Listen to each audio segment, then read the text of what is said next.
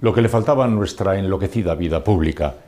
El Supremo, el máximo garante de nuestra seguridad jurídica, nos ha dejado a todos flotando en la inseguridad jurídica. Conocen ustedes eh, la secuencia, eh, la disparatada secuencia que comenzó en febrero pasado, cuando la sala de lo civil dijo que los impuestos en las hipotecas tenían que pagar los clientes. El jueves pasado, eh, la sala de lo contencioso administrativo dijo que no, los magistrados dijeron que tenía que pagarlo los bancos. En la mañana siguiente, de manera fulminante, parece que después de recibir un par de llamadas eh, alarmadas de los bancos, Diez Picazo, el presidente de esta sala, de forma fulminante, anula la sentencia del día anterior a una velocidad, como digo, de vértigo y deja congelada esa decisión, a la espera de que se reúna el Pleno, los 31 miembros del Pleno, en fecha no determinada. A estas horas están reunidos el presidente del Supremo, el señor Lesmes, con los seis de la sala del contencioso, con el presidente Diez Picazo,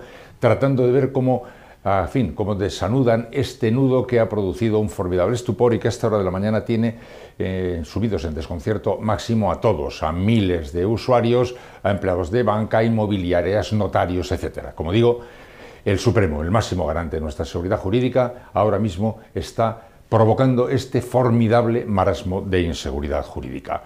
Fue desde luego muy chocante esta aparición a la carrera del presidente de la sala, el señor Díez Picazo, que ya fue muy, muy, muy, muy discutido cuando se le nombró, el día de su nombramiento, porque además ha manejado un argumento que resulta muy poco jurídico. Dice que ha tenido que intervenir a toda velocidad para evitar las graves repercusiones económicas de este asunto.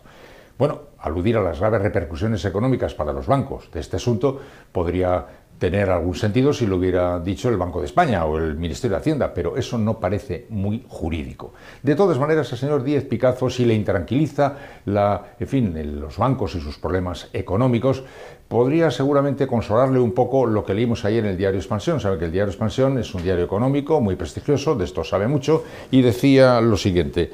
Eh, a ver si lo, se lo cuento con exactitud. Decía, en las entidades bancarias se descuenta que en caso de tener que asumir este impuesto, terminarán subiendo el diferencial de los préstamos o elevando las comisiones por la formalización. Así que pase lo que pase, las aguas regresarían a su cauce natural. Un embrollo jurídico formidable, un verdadero escándalo, estupor general y ya ven, finalmente, si terminan teniendo que pagar los bancos, pues ya ven que están previstos arreglos para que pudieran terminar endosándonos las subidas a los demás. Por cierto, mientras se aclara este asunto, porque no hay fecha para esta reunión de los 31 del Pleno, pagan los clientes.